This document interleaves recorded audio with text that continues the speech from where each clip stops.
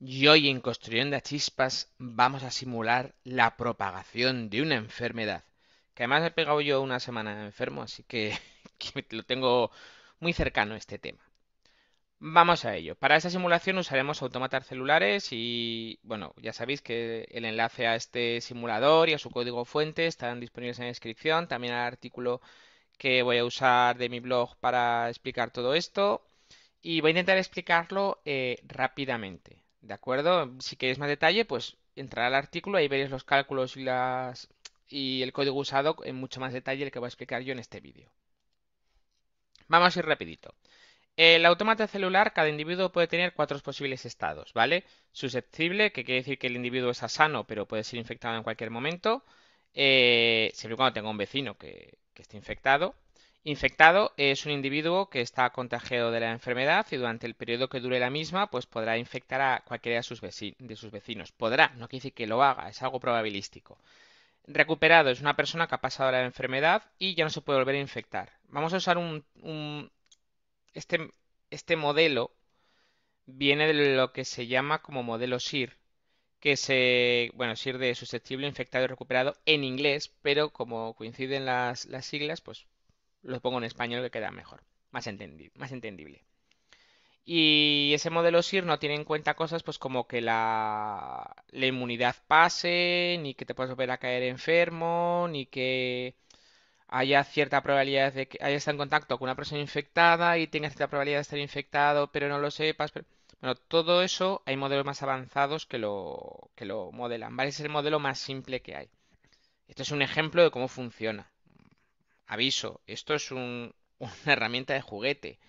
Que nadie saque conclusiones de, de aquí, ¿vale? Bueno, y luego, inmune. Inmune, inmune en el modelo SIR no está reflejado, pero básicamente es una persona recuperada, solo que está recuperada desde el principio de la, de la infección. ¿Para qué sirve esto? Bueno, pues sirve pues, para simular la gente que está vacunada, la gente que se inmune de forma natural, o imagínate que acabas de pasar una ola, esa es una segunda ola, y lo que haces es, pues bueno, pues modelas que, yo qué sé, que el 20% de la población ha, pasado la enfermedad y es inmune. Pues lo modelas usando, usando esto. Vale. Una vez que tenemos eh, los, estados del autómata, vamos a ver con qué parámetros podemos jugar. Podemos jugar con el tamaño de la, de la población. Eh, podemos jugar con la duración de la enfermedad. Eh, cada ciclo del autómata es un día. Y luego, eh, otra cosa que podemos también parametrizar es el número reproductivo básico o el R0 o R que tantas veces habréis oído en los últimos dos años. Que nosotros vamos a explicarlo rápidamente. Si queréis más detalles, aquí tenéis un enlace muy bueno donde os explica muy bien todo esto. No lo he escrito yo, por eso es tan bueno.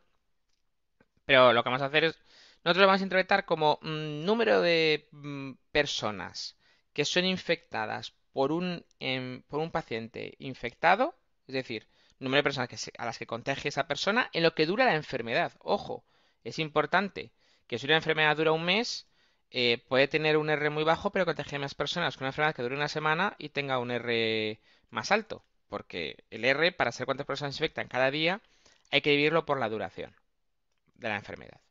Cosa que nosotros hacemos y calculamos este número, el PC, ¿vale? El PC es la probabilidad de contagio, de contagio, es la... Digamos que en cada iteración tenemos que ver si algún vecino se contagia. Entonces, lo que hacemos es, pues dividimos eh, el número de enfermos que, se, va a contagiar en el periodo de enfermedad, dividido por, la duración de la enfermedad, puesto que es en un solo día, en una sola iteración, y dividido por 8, que es el número de vecinos. ¿Por qué lo divido por 8? Imagínate que se contagia de media, que esto ya te digo que esto es estadístico, esto va con probabilidad, se contagia una persona al, al día. Pues eso quiere decir que la enfermedad de contagiarse los 8 vecinos en cada ciclo tiene que hacer un octavo. Por eso. Es una aproximación como otra cualquiera. Yo digo, esto es, un juguete, es una herramienta visual de, para ver cómo funciona, pero no es una herramienta científica. Y es una aproximación bastante simple. Ahora diréis alguno, bueno, pero tienes 8 vecinos y el R es de 15, como pasan algunas enfermedades, ¿qué ocurre? Pues ocurre que obviamente no va a contagiar a 15 personas, pero contagiará más rápido a 8 vecinos y la enfermedad se extenderá muchísimo más rápido. Con lo cual, de media, el R debería ser 15.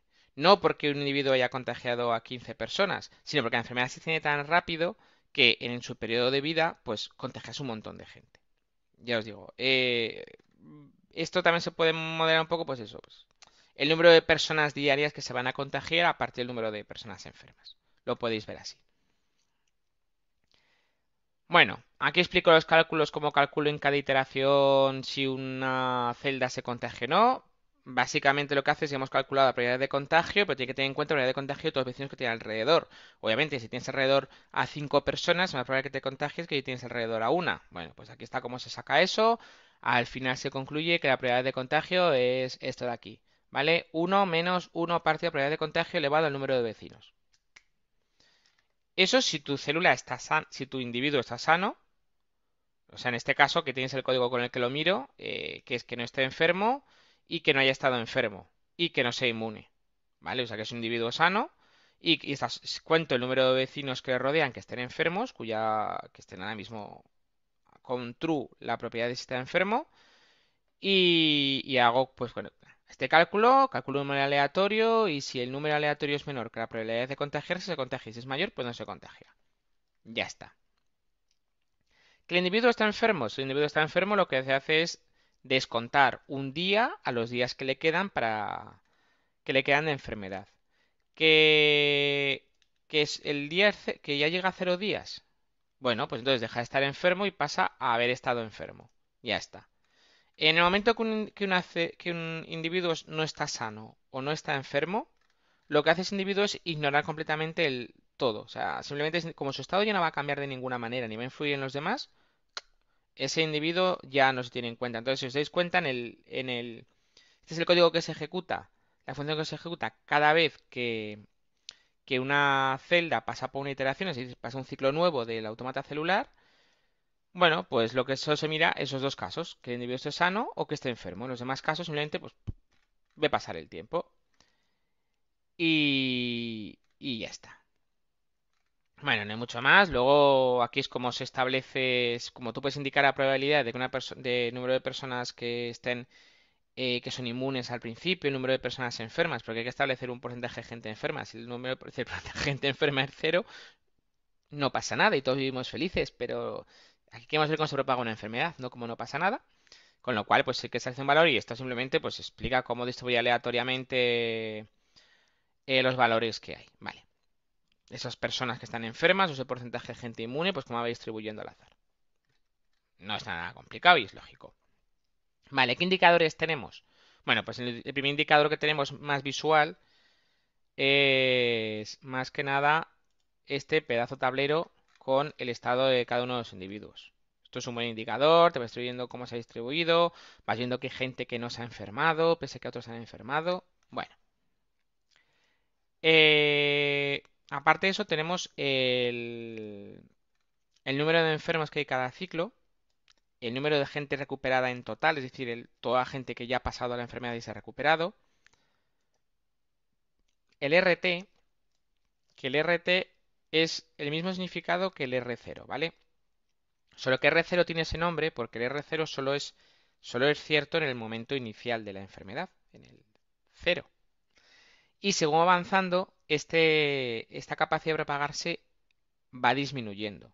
¿Por qué va disminuyendo? Pues porque la gente se está enfermando y recuperando. Y como la gente enferma y recuperada ya no se contagia, pues disminuyen las potenciales personas a tu alrededor las que puedes contagiar.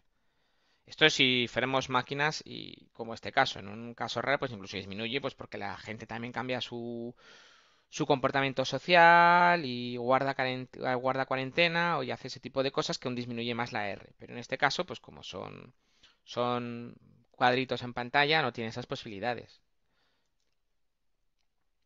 ¿Cómo calculamos este RT? Pues este RT una forma de estimarla es eh, pues multiplicar R0 por el número de personas que aún se pueden contagiar. ¿Vale? Imagínate que el 10% de las personas ya no se pueden contagiar. Entonces, lo lógico sería decir que este RT es R0 por 0,9. ¿Vale? Ya te digo, ese es en el caso en que no hay variación del comportamiento social, pues porque todo el mundo se sigue comportando exactamente igual, porque ya os digo, son cuadraditos puestos en, en una pantalla. No tiene nada que ver pues con un caso real, que sería pues gente como nosotros, que ya os digo, Vale, pues ¿cómo lo hacemos? Pues cogemos toda la gente que ya está enferma o se ha recuperado, porque la gente enferma tampoco se puede volver a contagiar, y lo dividimos por tal de la población. Y sacamos el porcentaje de gente que, ya, no, ya no puede verse afectada por la enfermedad. O al menos no pueden pillar la enfermedad, porque estás enfermo, pues. Entonces, al total de la población que es 1, le restamos este porcentaje. Y lo que queda multiplicamos por, por R0. Vale. ¿Por qué es interesante el RT? Pues el RT es interesante porque cuando cae, de, cae por debajo de 1, la enfermedad empieza a remitir. La enfermedad como epidemia empieza a remitir. No quiere decir que en cuanto llega a 0,99 la enfermedad hace corte.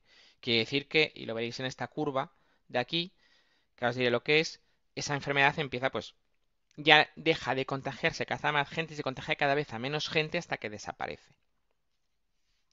Entonces, cuando se alcanza este R, cuando se alcanza este RT menor que 1, es cuando se dice que tenemos eh, inmunidad de rebaño, ¿vale? Que eso se consigue, pues ya sabemos, con la gente vacunada, con la gente recuperada, con la gente enferma, con todo eso, se consigue la inmunidad de, rebaño.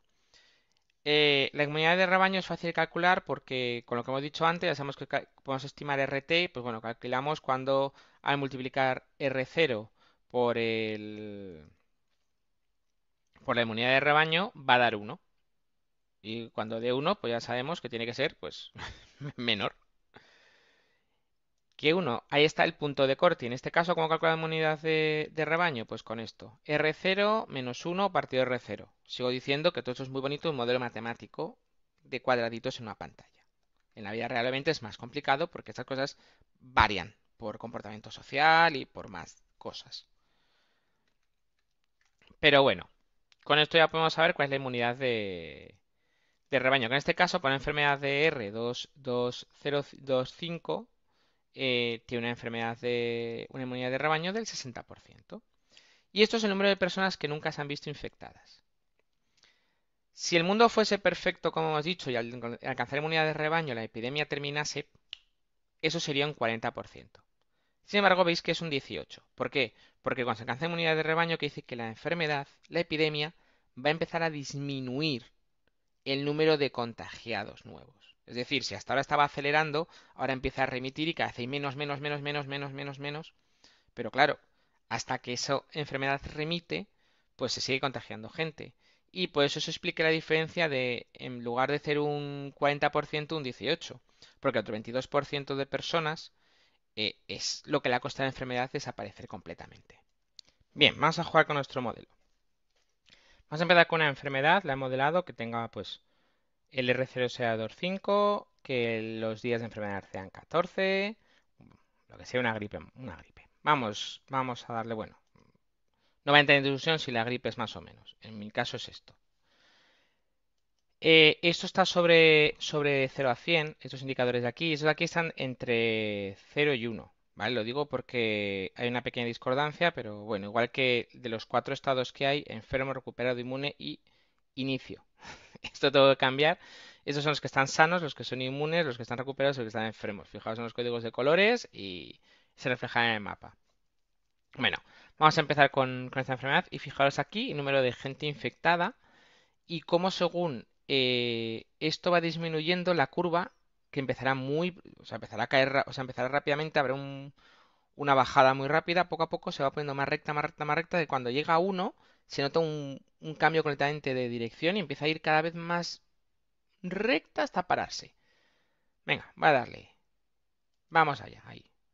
Fijaros como aquí ya empieza a haber una caída. Ese es el número de gente que, nunca se ha infectado. Está cayendo rápidamente. Fijaos que va a llegar a 1 y ahí, uh, lo, que, lo que he dicho, en cuanto está cerca al 1, empieza a haber un cambio de sentido que en vez de ir para abajo empieza como a ponerse más recta, más recta, más recta, más recta, hasta que al final, pues, se parará. Mm, aún hay algún un foco por ahí resistiendo. Ya está. Bueno, pues ha infectado casi el 80% de la población. Aquí no hay mortalidad porque, bueno, pues este modelo no lo contempla. Pero bueno, multiplicar eso por, por la población y por la tasa de mortalidad que tenga la enfermedad, pues por eso es mejor vacunarse. Entonces vamos a probar la, vamos a probar esto mismo, pero vacunándote. Entonces, vamos a decir que son inmunes de partida el 60%, que es la, inmunidad de rebaño que hemos dicho aquí. Y damos al play bueno, es que no, tiene por dónde pasar la enfermedad, no tiene manera de propagarse, no hay, no hay un hueco. Fijaros que eh, el número de personas sanas ha sido 99,69 nunca se han infectado. Y bueno, podemos subir el R, vamos a subir el R una barbaridad para ver cómo aún así, ahora con este con este R la inmunidad de rebaño es el 95%, hemos puesto el 60% de vacunas. Se extenderá, pese a estar tan tan lleno, ¿veis cómo es capaz de colarse por los huecos? Porque es que con que con esta tasa de, transmisión, con que tenga un un un vecino lo contagia. Entonces es capaz de encontrar cualquier hueco y extenderse. Fijaros que ha infectado al 77% de la población. No se infectó nunca, se ha infectado al 24% de la población. Teniendo en cuenta que, que, era inmune de origen 60%. Aún así infectado al 24%. O sea, eh, claro, si sumas 84% de la población, o era inmune o pasado la enfermedad. Entonces, bueno, pues ya veis cómo eh, la inmunidad o, las vacunas impiden que la enfermedad eh, se, se, propague. Bueno, y eso sin vacunas, pues sería... Mm, yo creo que va a ser un cambio de color. Igual yo creo que lo debemos parpadear solo. ¡Tachán! Todo el mundo ha enfermado. Y todos han recuperado ya, todos contentos. Ya, ya, ya son inmunes. El 100% es inmune. Entonces, pues podéis ver cómo se puede ir jugando con estos datos, con estos números, pues para producir, yo qué sé, pues por ejemplo, una enfermedad que tiene R020, pero dura un solo día, a ver cómo se comporta. Pues ha habido gente que ha logrado esquivar la enfermedad. Que esto es curioso porque hay gente que se ve rodeado de, de gente que está recuperada y hacen como de barrera con el resto de enfermedades. Entonces, si tienes la suerte de que tus vecinos se contagian, pero logras esquivar la bala, en, este caso en que no hay movilidad, la gente no, los cuadritos no se mueven, bueno, pues tú puedes pasar por una enfermedad que infecta prácticamente todo el mundo y una serie de islas de gente que no se ha infectado. Y bueno, eh, obviamente en el, caso real sería que todos tus conocidos, todo tu entorno se infectase y tú esquivases la bala. Pues esto es, esto es curioso y pasa muchas veces. Según vas bajando el, el R0, pues obviamente hay más gente. En definitiva, pues claro, tiene que haber gente que... Si no se infecta 100% de la población, tiene que haber gente que haya evitado la infección. Entonces, bueno, siempre tiene que haber, pues, gente de color verde que, que no se haya infectado. Y, y está, fijaos que he bajado esto de 20 a 5, pero cuando aumenta los días a 7, pues básicamente la, la infección ha sido la misma y la inmunidad de grupo es el del 80%. Claro, como a partir del 80% va a empezar a bajar la propagación de la enfermedad, pues en este caso de un infectado prácticamente el 100%, como podemos ver por la imagen. Pues sí, un 0,5% se ha salvado. Bueno, pues os dejaré esto para que juguéis con él. Os, en la descripción tenéis el enlace a esto, el enlace al artículo, el enlace a mi GitHub con el código fuente por si queréis copiarlo y trastear con él. Y bueno, en el artículo hay enlaces a, que hablan más de este tema y yo qué sé, pues si os ha gustado esto, pues suscribiros. Eso ha sido todo en este vídeo. Eh, links en la descripción, más información en mi blog. Si te ha gustado, sígueme. Bueno, todo eso que ya sabéis y nada, un saludo.